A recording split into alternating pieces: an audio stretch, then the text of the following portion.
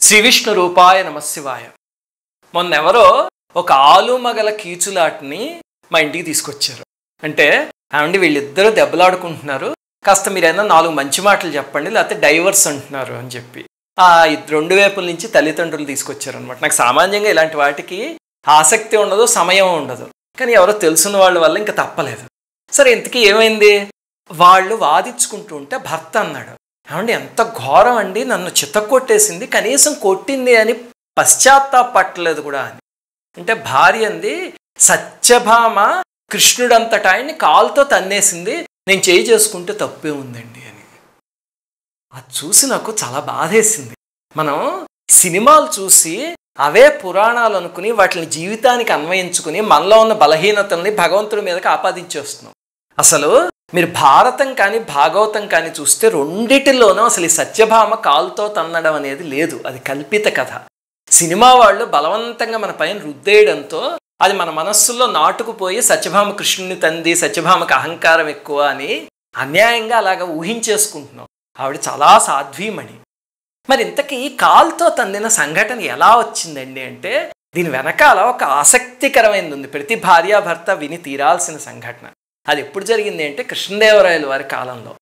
అదేమిటంటే సత్యభామ కాలుతో తన్నడానికి కృష్ణదేవరాయలకి సంబంధం ఏమిటి అంటే ఇప్పుడు చెప్తా. ఒకసారి ఏమైంది? రాయలవారు ఆయన పట్టమహిషి ఆనందంగా ఉండేవారు. అయితే పెళ్ళి రోజున రాయలవారు ఈ పనుల్లో పడి ఆ రోజు పెళ్ళి రోజు అన్న విషయం మర్చిపోయారు. అంతఃపురానికి వెళ్ళడం. అంతా ఆవిడ పాపం ఎదురు చూసి చూసి అలంకరించుకుని కూర్చుని ఉన్నారు. కూర్చుని ఉంటే ఆయన రాలేదు. చూసి చూసి చూసి ఇంకా అలిగి ఏ అర్ధరాత్రో పడుకున్నారు ఆవిడ. పడుకున్నప్పుడు ఏం చేస్తారు? పొరపాటున సామాన్యంగా చూడండి ఆడవాళ్ళకి కోపం వచ్చిందనుకోండి వాళ్ళు దాన్ని ఎక్స్ప్రెస్ చేయడానికి ఏదో ఒక మార్గం వెతుక్కుంటారు. అంటే రోజు పడుకునేది తల ఇటు పెట్టుకుని కాళ్ళు ఇటు పెట్టుకుని అనుకోండి. అలా కాకుండా ఎడ్హాక్గా ఏదో ఒక రకంగా పడుకుంటారు. సామాన్యంగా చూస్తాం కదా. అంటే మీ ఆవిడ అలా చేస్తుందా అని అడగండి పాపం మా ఆవిడ చాలా సాత్వికురాలేను బట్ చెప్తున్నాను. అయితే ఆవిడ ఏం చేసింది? కాళ్ళ దగ్గర తల తల దగ్గర కాళ్ళు పెట్టి అంటే ఆడ్గా అలా నిద్రపోయింది కప్పుకొని. అయితే ఆయన ఏ అర్ధరాత్రి వేళ వచ్చారు? వచ్చి ఆవిడని ఎందుకు డిస్టర్బ్ చేయడం అని చెప్పి కామ్గా వెళ్ళి తన ప్లేస్లో పడుకున్నారు. పడుకున్న ఆయన ఎలా పడుకున్నారు? రోజు తల పెట్టుకునే చోట తల కాళ్ళు పెట్టుకునే చోట కాళ్ళు. అంటే ఇప్పుడు మీరు ఆలోచిస్తే ఆయన తల దగ్గర పట్టపదేవి కాళ్ళు ఉన్నాయి. ఆయన పాదాల దగ్గర ఆవిడ తల ఉంది అంతే కదా? తెల్లారేసరికి ఏమైంది? ఆవిడ పొరపాటుని తిరిగేసరికి ఆయన తలకి ఆవిడ కాళ్ళు తగిలి దాంతో రాయల వారికి ఆగ్రహం వచ్చింది. ఇంత అవిధేయత నన్ను తంతుందా కాళ్ళతో అని చెప్పేసి వెళ్ళిపోయారు కోపంతో. పాపం ఆవిడ వెంటనే ఉలిక్కిపడి లేచి అయ్యో తప్పు చేశానని క్షమార్పణ అడగబోయింది. కానీ ఆయన అసలు పట్టించుకోకుండా వెనక్కి తిరిగి చూడకుండా వెళ్ళిపోయారు. వెళ్ళిపోయి ఏం చేశారు? అప్పటి నుంచి ఆ మందిరానికి రావడం మానేశారు. ఎప్పుడు కూడా చూడండి భార్యాభర్తల మధ్యలో ఏదో ఒక కీచులాట వస్తుంది. వచ్చినప్పుడు వెంటనే మాట్లాడుకుంటే కనుక అది పోతుంది. అలా కాకుండా కమ్యూనికేషన్ గ్యాప్ పెంచేసుకుంటే ఒక పెద్ద అగాధం ఏర్పడిపోతుంది అంతే.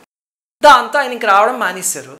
మానేస్తే ఆవిడ పాప ఎదురు చూసి చూసి చూసి ఏదో చెలికత్తెల్ని వాళ్ళని పంపించారు. వాళ్ళు ఏం మాట్లాడతారు అక్కడికి వెళ్ళి? మహారాజు ముందు చెలికత్తె ఏం మాట్లాడుతుంది? దాంతో పాపం ఆవిడకి ఏం చేయాలో అర్థం కాలే. అయితే అష్టదిగ్గజాల్లో నంది తిమ్మన గారు అని ఉన్నారు కదా మనం ముక్కు తిమ్మన అంటాం చూడండి. ఆయన ఈవిడికి అరణపు కవి. అంటే పుట్టింటి నుంచి తెచ్చుకున్న కవి అనమాట పుట్టింటి నుంచి సారెలు అలాగే ప్రాపర్టీస్ అవి తెచ్చుకుంటారు కదా చెలికత్తెల్ని అలాగే ఒక కవిని కూడా పంపించారు. పంపిస్తే ఆయనతో వెళ్ళి చెప్పుకుంది.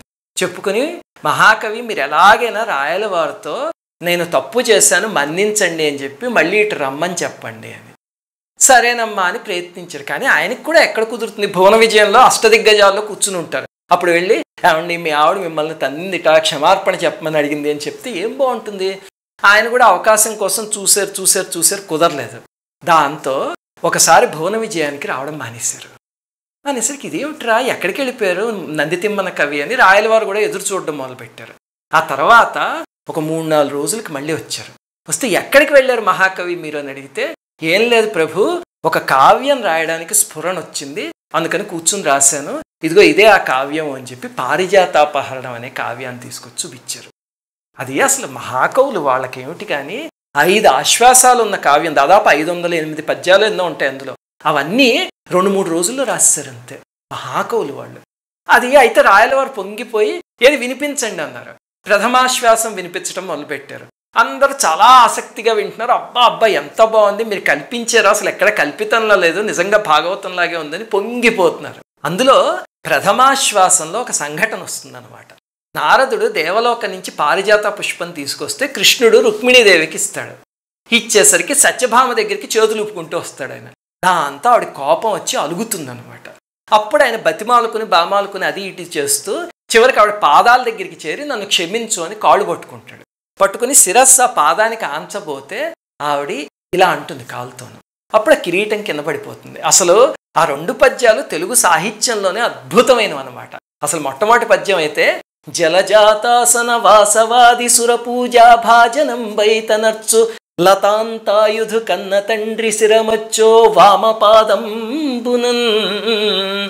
తొలగంత్రోచెలతాంగి అట్లేయగు కాంతుల్ నేరముల్ సేయ. పేరల కల్బూనిన ఎట్టి కాంతల్ ఉచిత వ్యాపారముల్ నేర్తురే అని ఉంటుంది అంటే ఆయన శిరస్సు ఎలాంటిదంటేట జలజాతాసన వాసవాది సురపూజా భాజనం బయతనొచ్చు బ్రహ్మగారు ఇంద్రుడు వాళ్ళందరూ రోజు పూజ చేసుకునే పువ్వుల బుట్ట లాంటిది ఆయన శిరస్సు అలాంటిది మరి ఆయన ఎలాంటి వాడు అంటే లతాంతాయుధు కన్న తండ్రి. అసలు శృంగారానికి అధిదేవత మన్మధుడు అంటారు.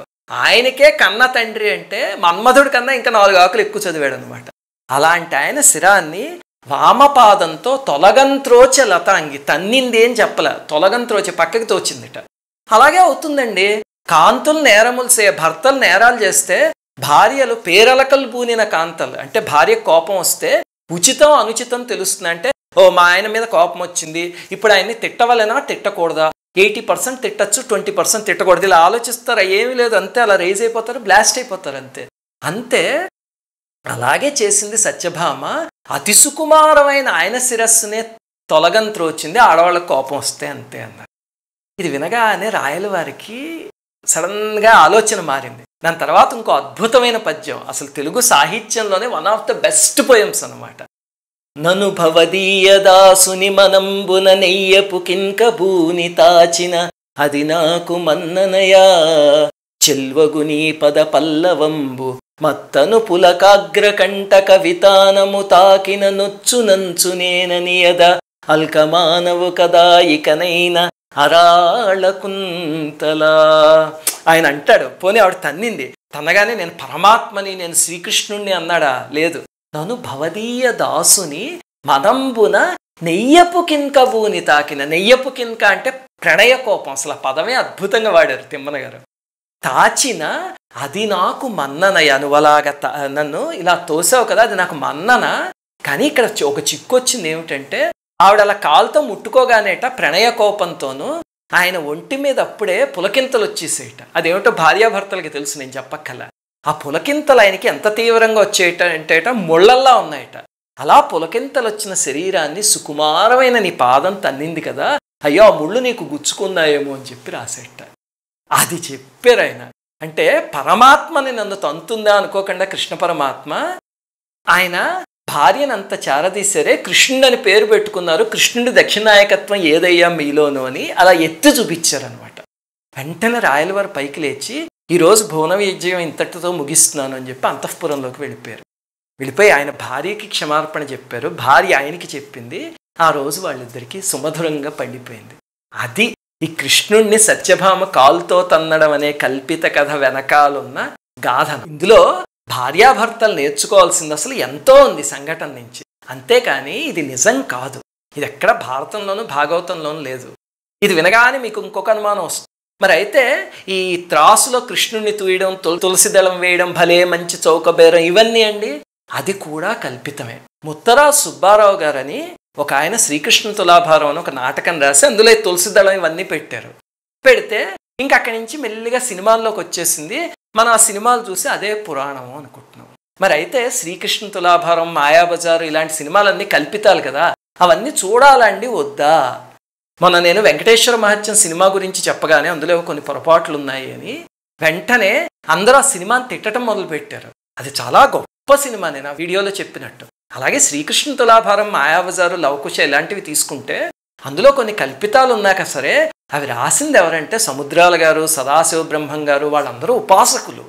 పింగళి నాగేంద్రరావు గారు. దాంతో వాళ్ళు ఎక్కడ పరమాత్మ పాత్ర ఔచిత్యాన్ని దివ్యత్వాన్ని దెబ్బతీయకుండా రాశారు. కానీ అసలు మీరు కృష్ణతులాభారం కానీ మాయాబజార్ కానీ చూస్తే వ్యాస మహర్షి రాసినట్టే ఉంటాయి అవి. పరమాత్మ ఔచిత్యం ఎక్కడ దెబ్బతిందో చాలా అద్భుతంగా తీశారు. తర్వాత తర్వాత డెబ్బైల్లో వచ్చిన పౌరాణికాల్లో ఇంకా పురాణ పురుషుల్ని తిట్టటమును ఈ నెగిటివ్ క్యారెక్టర్స్ ఉంటాయి వాళ్ళని హైలైట్ చేయడం అనే పైత్యం అప్పుడు మొదలైంది. అది చాలా పొరపాటు. మనం ఎప్పుడైనా పురాణ పురుషుల్ని తిట్టామా అది జీవితంలో కట్టి కుడిపేస్తుంది.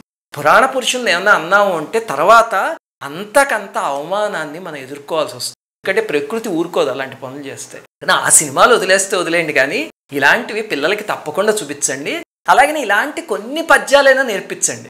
అసలు పారిజాతపహరణంలోనే ఆఖరి పంచమాశ్వాసంలో ఒక పద్యం ఉంటుంది.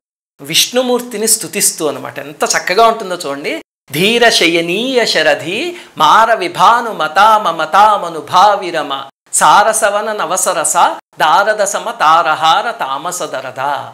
ఏమిటండి ఇది? ఇదిగో ఇక్కడ రాసి చూపిస్తాను చూడండి. ఇది ప్యాలిండ్రోమ్ పద్యం.